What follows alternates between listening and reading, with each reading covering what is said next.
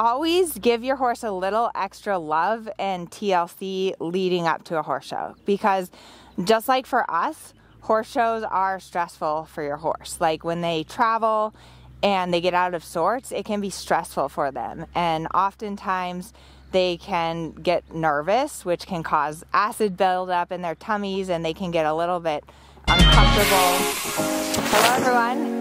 In this video, I'm going to give you five tips to improve your scores this season and to help you have fun at your next horse show. This video is proudly sponsored by Purina Feed Greatness. Check out the description box below. There's some awesome coupons to help you if you want to try out their grain. So, first tip is it's very important to focus on the basics. So if you look at your test, if you print out your test sheet in the top corner of your test, it has the purpose of the test. And the first sentence there is that the horse demonstrates correct basics. So you always, always, always, as you're getting ready for your show, want to focus on the basics. So, what are the basics? Well, the basics are the training scale. The basics are the base of the training scale, which is rhythm, suppleness, and connection. There's also a PDF uh, that I have on the training scale, which you can download. Check out the description box. But before I start working on my test or thinking about the show, in every single ride, I start by focusing on rhythm. So, rhythm means feeling the footfalls of the walk, the trot, the canter. So, if I'm here at the walk, it's one, two, three, four, one, two, three, four, one, two, three, four, one, two, three, four. If I'm at the trot, the trot is a two beat gait. And honestly, this seems so simple and silly, but just start counting when you're riding. One, two, one, two, one, two, one, two. The reason that feeling the rhythm is really helpful is because it helps you to get in sync with your horse's motion and it helps your aids to be more effective because all the aids that you give, whether it's a turning aid or a bending aid, all of that will help to, for your aids to be more effective. So that's rhythm. Now, step number two is suppleness. The second level of the training scale is suppleness. How do you achieve suppleness? You achieve suppleness by getting your horse to bend in the body. So, circles, serpentines, changes of direction. Like here, I'm riding a three loop serpentine. That's a really good exercise for warming up your horse um, and really making sure that you can bend your horse evenly to the left and evenly to the right. And the reason that suppleness is really, really important is because suppleness is all about physical and mental relaxation. So when your horse is physically and mentally relaxed, then they're so much easier to ride and you can do a lot more things with your horse when they're relaxed physically and mentally.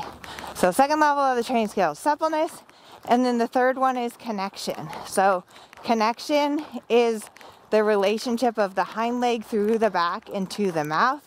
Connection is acceptance of the leg and of the rein. And the best exercise to work on connection are transitions. So you can do trot walk transitions, you can do trot canter transitions. Good boy.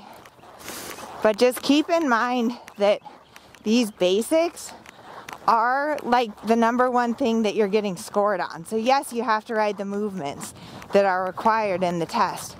But if your basics aren't good, if your horse isn't supple, if your connection isn't good, you're not going to get a good score. So, even if you're preparing for a show, always focus on the basics.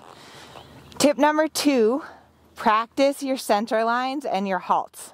This is something that we all forget to practice, but it's so important because every single test starts and finishes with a center line and a halt. So it's like the first impression that you give to the judge, and it's also the last impression that you give. I highly recommend, even just in your warm up, you know, we do a lot of times like change rein across the diagonal, but try just doing some center lines instead. Like just practice turning up the center line. Don't even do a halt transition. Just go straight. It's good to practice center line sometimes where you don't do a halt transition because otherwise your horse starts to anticipate halting at X if you do that every time. And then my best tip for the halt is let if you're at the lower levels, you're allowed a few walk steps into the halt and really try to do the halt from your seat. The better you can do it from your seat, the more that you can do it from your seat, the more likely it is that your horse will halt round and stay nice. And they're also more likely to halt square. So I'm gonna pull my tummy in. I'm gonna try not to pull and just use my seat for the halt. Good boy. So don't drill your center lines in your halts. Just mix them in a little bit every day. That's tip number two. Tip number three is that three is the magic number. so what I like to do when I'm practicing my test is like, yes, you need to learn your test, and yes, you need to ride it through from start to finish at least once before you go to the show. But I like to break it apart and practice one movement three times before going on. So I'm going to show you an example of that. I think in training level test two, or sorry, I think in training level test three, that you do a shallow loop serpentine and then you have to pick up the canter between K and A. So a lot of times, you know, you think, okay, I have I have a test, I have a show coming up, I want to practice the test and make sure that I can do the movement. So I'm going to start my shallow loop serpentine, H, X, K. I'm going to make sure that I'm nicely changing the bend here. And then I have my canter transition. I think it's actually between A and F. So I'm going to get my horse nicely bending, half halt, and canter. So that was actually pretty good.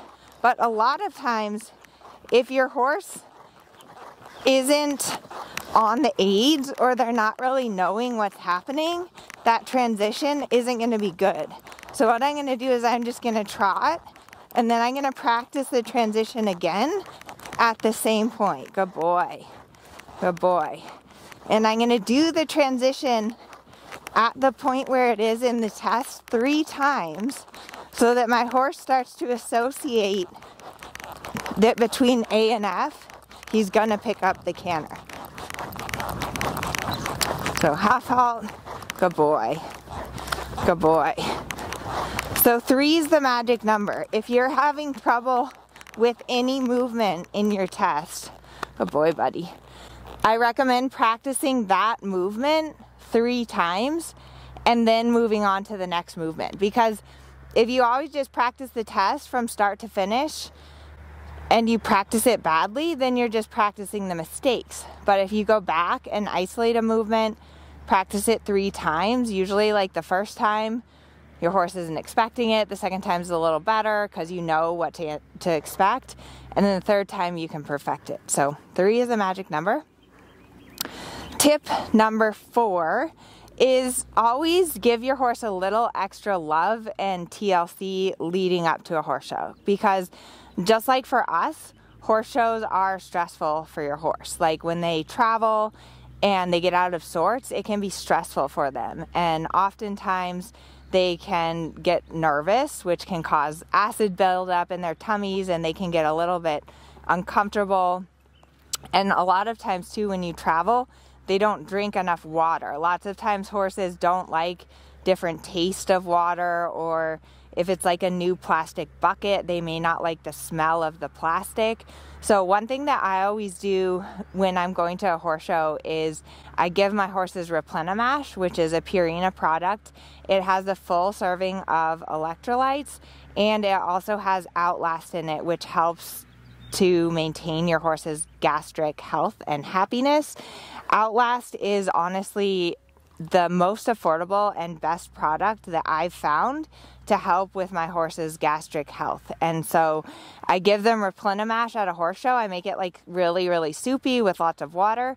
And then at home, my horses are on Ultium gastric care. And I found that that's like the most affordable way to keep my horse's stomachs happy. A lot of times, what happens at a horse show when your horse starts to get tense that they can have more acid buildup in their stomach and when they have that it can make them like even more tense and even more anxious and it just becomes this downward cycle. So that's what i do to help out my horses.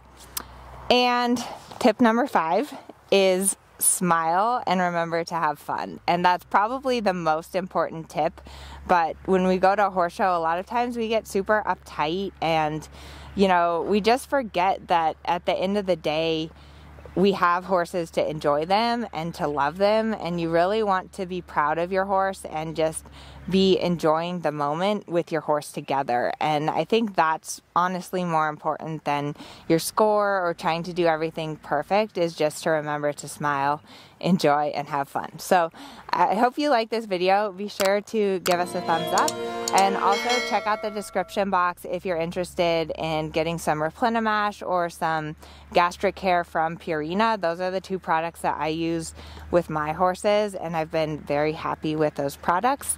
And a big thank you to Purina for making this video possible today. I am very grateful for their support and of course for your support as well. So good luck at the, your next horse show and I hope you enjoyed this video.